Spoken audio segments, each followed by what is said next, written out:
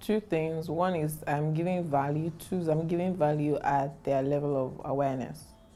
So um, I took time to understand what language they would um, they would get the more.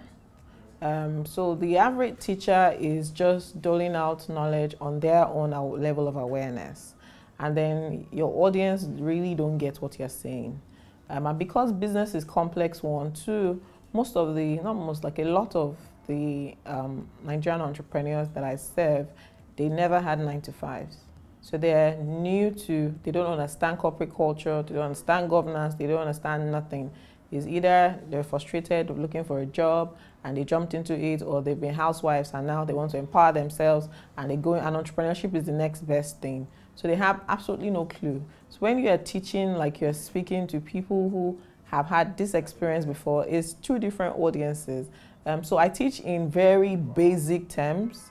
So half the time, if you go through comments on my page, you see things like, oh, I didn't know it was this easy. Oh, thank you for breaking it down. Well, now I get it. So I know that, okay, this is one way. So that has helped a lot. So people keep sending their um, entrepreneurial friends to my page. Like if you want to understand it, like they break it like we're in primary school. You go to um, Tricia. So it's not like they're they're not intelligent. They are highly intelligent people, but in the field of business, they need to be served in different blocks and build them all the way.